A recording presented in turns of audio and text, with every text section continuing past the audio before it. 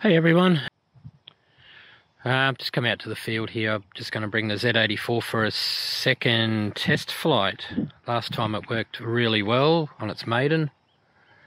Um, we we tested out loiter mode, returned to home, and made sure it was flying well. Everything seemed very good with it.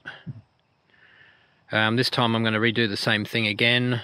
Uh, I want to maybe do an auto tune on it as well. Maybe try that first. And just try and get an idea of how long the flight time is with this ZOHD um, 3500 lithium ion battery that I bought. Um, so basically not much difference. It was flying pretty good before. I've done a servo auto trim on it. Um, we might we'll, we'll test all the modes basically again and just just get a bit more of a feel for it. So right at the moment it's it's just collecting satellites. So at the moment you can see we've got we got 15 satellites at the moment. I'm going to take off again in angle mode. My battery's actually full even though it's showing 3.98 volts. So I'm not sure what that's going on there. I might have to make sure I'll have to adjust that by the look because that's incorrect we've got 100% battery, it's been fully charged, so it's only showing 76%, so that's not good. We'll sort that out when I get back. So we'll give her a flight, we'll, we'll throw her up, and um, I might even try a, um, a, a nav launch too, actually. That was another one I wanted to try, the nav launch. I did it, was doing it wrong. How I thought um, you had to do it on the previous video, which I never really tested, I never, I never put in the video, um, I, I, I, couldn't get it going, but that was uh, because I needed the um, the throttle had to be already up. Just some simple errors there you learn. So let's throw her up in the air and see how she goes. Okay, so the plan here is to launch in, uh, is to do an auto launch here. So to do this you arm the craft and you'll see on your OSD and your goggles there it'll mention it should come up launch mode active and then you have I think it's 30 seconds uh, to lift the throttle to at least halfway and throw the plane.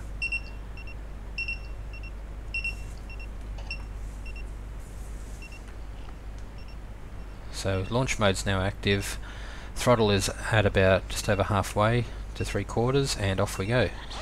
Perfect launch. and when you're ready you, you don't have to do anything here as soon as you're ready to take over you just start flying and launch mode is deactivated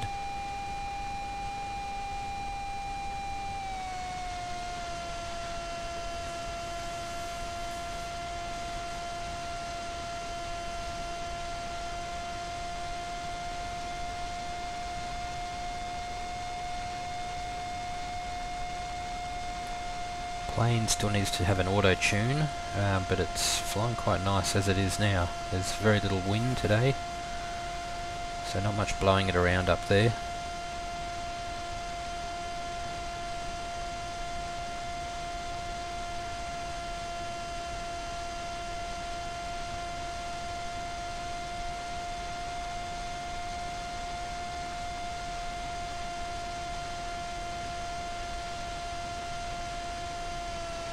Just flying in angle mode at the moment, so my my the angle that the plane can uh, roll is limited. I'll switch into horizon mode a bit later.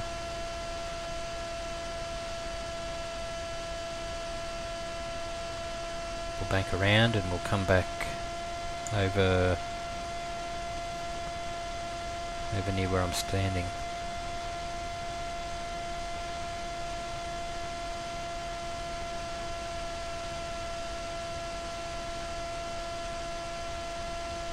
The moment we're just flying at around 50 meters. There's no OSD on this because the uh, I was having trouble with the SD card and I couldn't get recording to show you any telemetry so I can just let you know as we, we fly along. We'll go for a bit of a bit of a spin over the mountain here. Out to the left there is our flying field.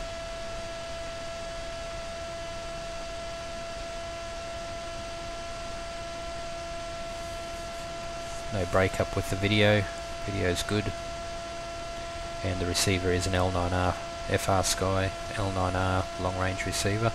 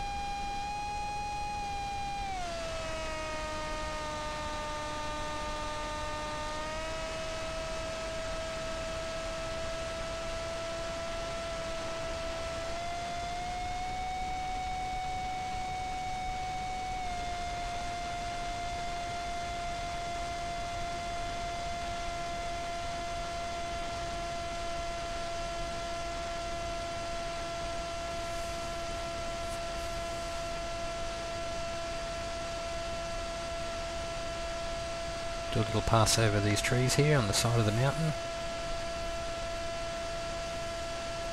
Got a lot of confidence in this plane after its second flight. Flies really well. Very easy to fly. And we might bank around and do a flyby, flyby over the top of us.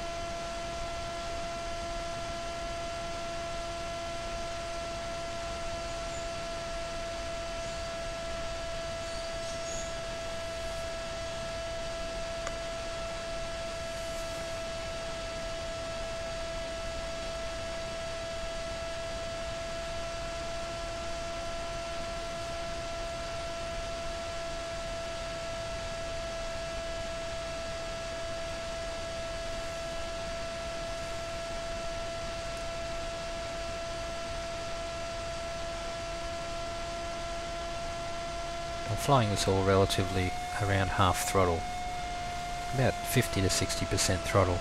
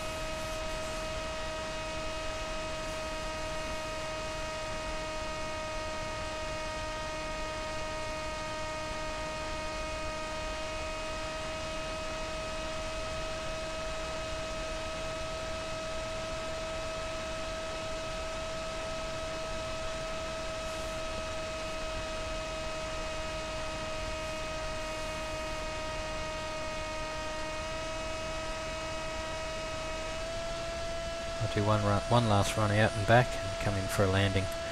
Let's go up over the mountain again.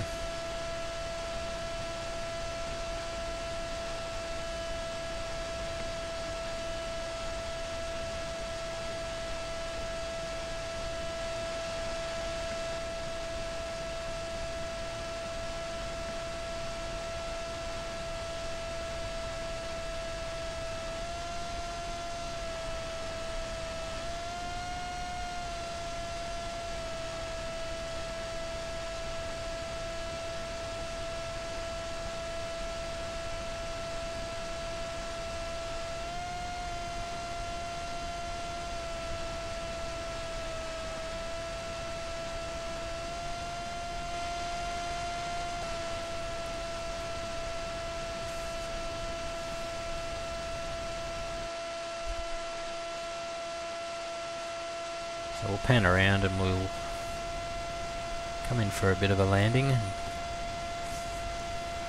Manual landing that is. not going to be doing anything fancy. We're at about nearly a kilometre away, so I've got full range still. I've got good limit, good uh, yeah, good reading on my in my goggles.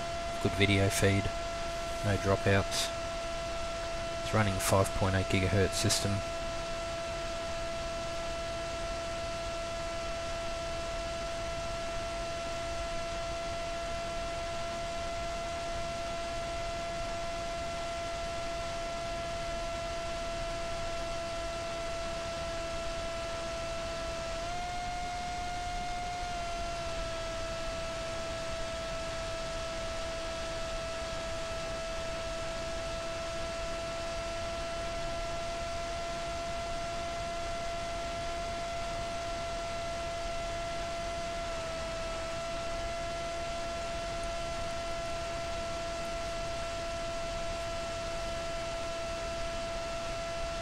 go a bit of a low pass.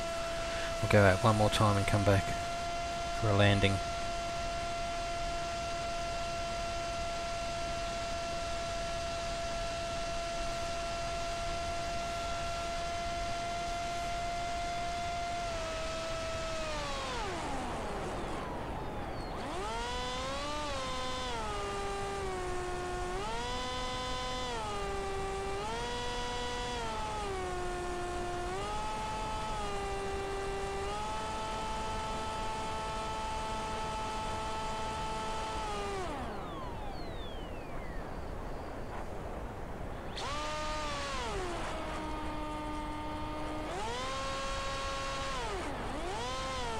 We'll go around again. I screwed that one up. Still getting used to it coming down. I'm not sure if it's slow speed yet, how stable. It goes alright at slow speed, but I'm not 100% confident how slow I can actually go before it stalls yet.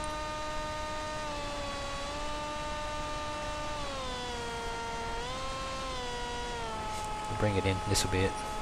Come straight in here.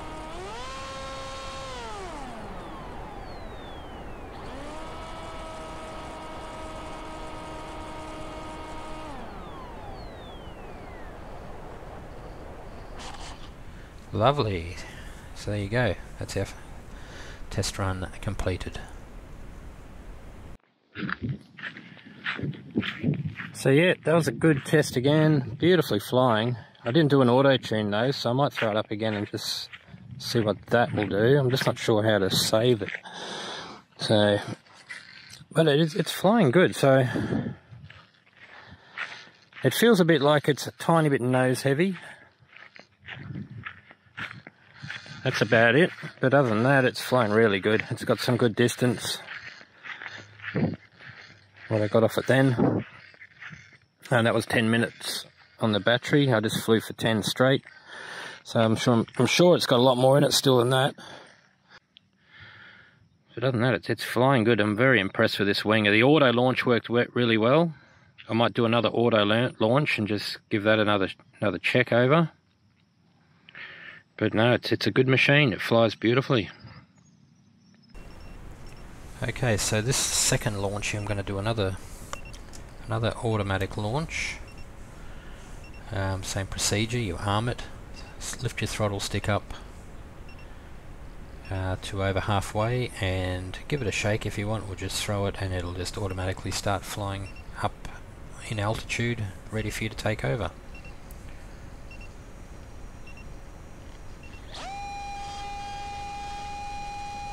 Off we go. I'm going to stick this one into an auto tune. So to do the auto tune while you're flying, I'll just level off. Now I'll bank, bank around here and then I'll straighten it up and then I'll flick the auto tune button, switch, sorry. I'll flick the auto, auto tune switch and it'll come up in my OSD on my goggles that auto tune is inactive. So I've just I've just switched the switch it into auto tune now. Auto tune is active, so basically it, all you're doing here is just fly it. You fly it for at least three minutes, and it records. It records uh, PDFs every every five seconds or so. They recommend you do as you do aggressive turns as well, banks, be a little bit aggressive with the with the with the flying uh, as it tunes itself. And then when you're happy with the tune don't land it. So when you're happy with the tune you switch off your auto tune switch and then you land it. And then you have to save it to your um, flight controller. So I'm just doing some tight turns here can actually feel it feeling a little bit better. It's a bit more stable now in level mode 2.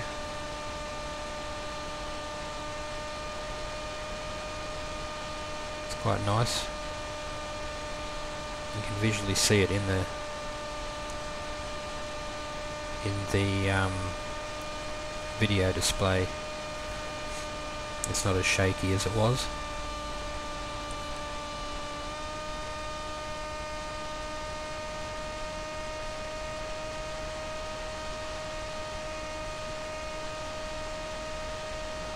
Quite nice.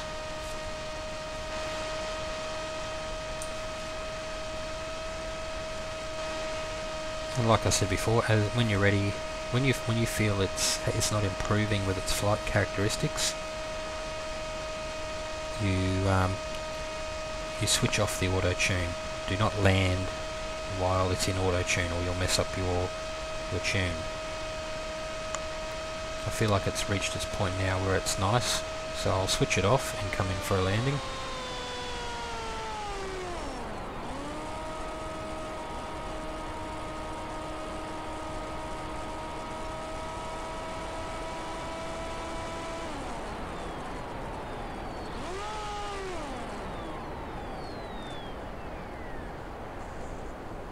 that's nice and then you have to save it uh, to your flight controller from there either by plugging it into iNav there's a few different ways of doing that well that worked really good again I'm amazed with this little plane the Z84 Wing Wing I'll tell you what if anyone's thinking of buying it do it it's a it's a fantastic little machine it flies beautifully it's um, I've just given it an auto tune. I could feel the difference. It was progressing as I flew. Flew it for about three minutes only. But yeah, very amazed at how well it flies. iNav is really set up good. iNav 2.5 I've got on it. It's set up really well. It is um, just out of the out, out of the stock setup. Seemed to be very good for this this plane. I use the the settings that it produces when you when you set up your wing, uh, your flight controller. But it, it, it, it, performed flawlessly. It was. I mean, there's no wind today, so you sort of expect no no sort of rough flying. But it was it was very very smooth. Um, I tried horizon mode.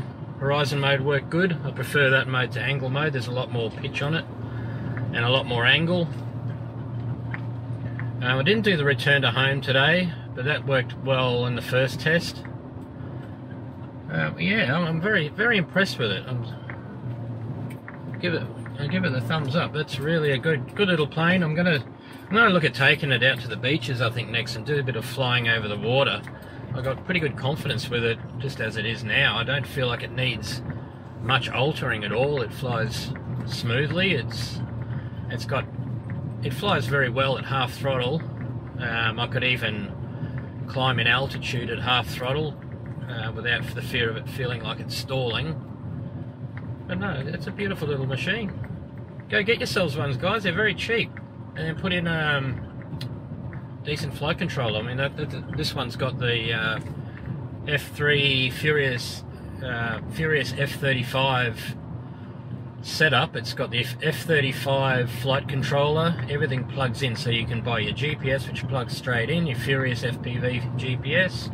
I've got a Furious FPV uh, airspeed sensor on it. I didn't get the Bluetooth module or anything like that, but you can even hook it up and get a Bluetooth module so you can change any of the settings through your phone. Yeah, fantastic, fantastic. Very, very impressed. Hope you enjoyed it, guys. I'm going to um, hopefully do a bit more flying with it out over the beaches in the coming coming uh, days or even weeks, depending on the weather here. We're just about to get a bit more rain, so um, hopefully that won't last too long, and I'll get it out. We'll do some nice flying over the water and see what we can we can produce there with it. Until now, um, stay safe, and we'll see you in the next video, guys. See you then. Bye.